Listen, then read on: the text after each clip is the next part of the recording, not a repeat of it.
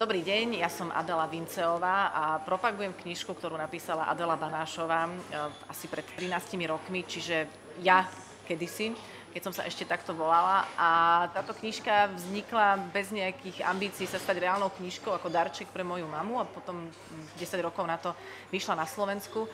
A teraz by mala výsť v Čechách, teda nie, že by mala vychádza. A ja som veľmi zvedáva na to, ako zaujme e, českého čitateľa, ktorý by mohol byť dieťa, ale aj nemusí, môže byť aj dospelejší. Sú to také surreálne, jemne absurdné rozprávky, ktoré sa tvária, že sú tradičné slovenské, ale je to len puhý výplod mojej fantázie.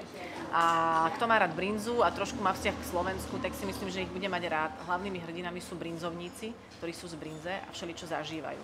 Takže to môžete zažívať s nimi a som veľmi zvedavá, čo to v Českej republike spôsobí. Asi nič, ale možno si ju niekto všimne a rád si ju prečíta. Budem sa z toho tešiť.